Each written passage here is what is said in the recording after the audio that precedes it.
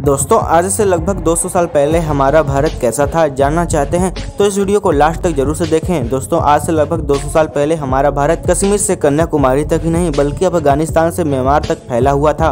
उस समय भारत में दो बड़ी ताकतें थीं, पहली मुगल और दूसरी मराठा साम्राज्य। उस समय के पुरुष सफ़ेद धोती और महिलाएँ सिल्क से बनी साड़ियाँ पहना करती थी। उस समय भारत की पॉपुलेशन मात्र 16 करोड़ ही थी।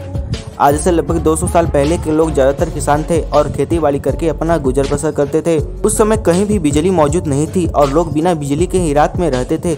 उसी समय भारत में ट्रेन का आगमन हुआ और यह ट्रेन बोरीबंदर से ठाणे के लिए एक पहली पैसेंजर ट्रेन चली थी।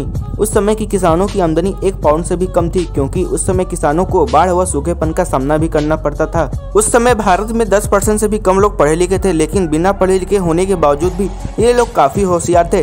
आज के समय सभी वस्तुएँ पैसे से मिलती हैं, लेकिन आज से लगभग 200 साल पहले के लोग सामान के बदले सामान ले देकर ही व्यापार करते थे। जैसे एक किलो चावल के बदले एक किलो आटा, ऐसे ही वस्तुओं की खरीदारी की जाती थी। दोस्तों, पहले के जमाने में लोग आने जाने के लिए बैलगाड़ी की सहायता लेते थे, या फिर वे पैदल ही निकल जाते थे। तो दोस्तों, आपको 200 साल पहले का भारत कैसा लगा हो, कमेंट सेक्शन में ज़रूर से बताएँ, और चैनल पे नए हैं तो चैनल को सब्सक्राइब कर लें ऐसी ही अमेजिंग वीडियो के लिए।